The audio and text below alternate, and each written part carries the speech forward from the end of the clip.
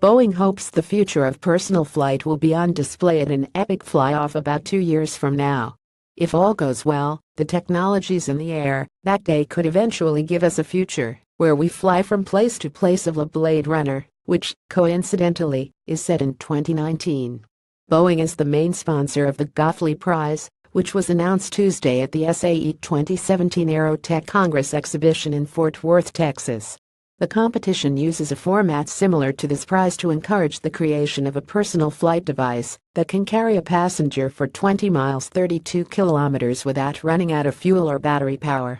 Thanks to recent advances in materials, propulsion and autonomy, we believe the world is ready to make the next leap in flight innovation, Greg Hyslop, Boeing's chief technology officer, said in a video statement.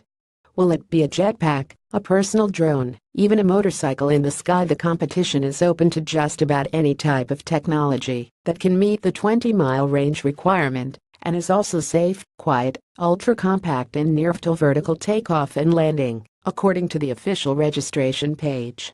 Individuals or teams from around the world can enter, with prizes awarded in three phases.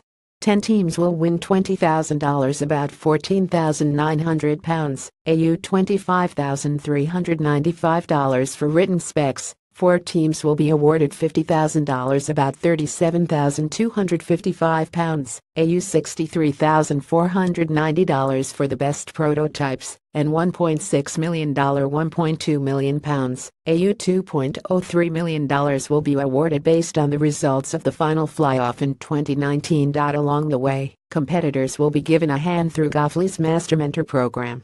Masters of different fields relevant to aerospace will give monthly talks on technical topics, and teams will also be paired with mentors to work in the in, in developing their personal flight device. Our goal is to not only build this revolutionary technology, but to also help the teams build revolutionary new companies, said Gwen Lighter, CEO of the GoFly Prize. We're at the brink of a legitimate shift in the way we travel from one place to another. Eight sci-fi ideas that might become science fact pretty soon pictures Boeing and GoFly are far from the first to pursue the goal of personal flight. Countless designs have been pursued and prototypes built and tested. Almost none have gained widespread commercial acceptance, except perhaps for helicopters that remain relatively big and noisy after all these years and not widely used for personal transportation. Boeing itself even built and tested a remote-controlled version of a flying car in 2004 that was referred to as a personal air vehicle back then.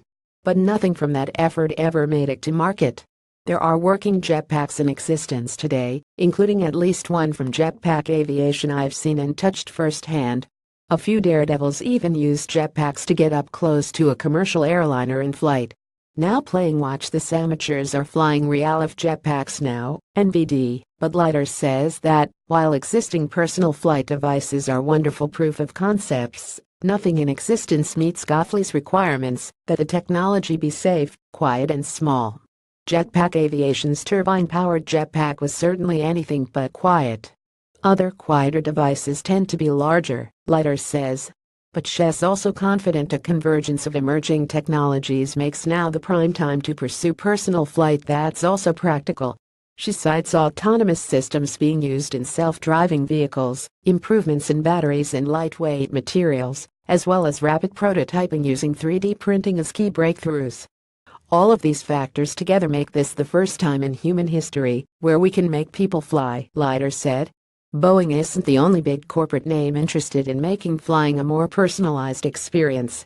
Uber is working on a flying rideshare concept. Toyota hopes to have a flying car ready to light the Olympic torch at the 2020 Games in Tokyo and Google co-founder Larry Page is backing Kitty Hawk, just one of many small companies with a flying device design looking to get off the ground. In the big picture, the $2 million that GoFly Prize aims to award to flight innovators will amount to a little bit of seed money for a few new efforts to emerge in what's already becoming a crowded nascent person of flight space. But the spectacle of that fly-off in 2019 could be a game-changer. Lighter thinks the sight of all those devices cruising above the landscape for miles could inspire a whole new industry and a high-flying future. Today we look to the sky and say look at that plane fly, but two years from now we'll look up and say look at that person fly. Crowd Control a crowdsourced science fiction novel written by CNET readers. Solving for XX the tech industry seeks to overcome outdated ideas about women in tech.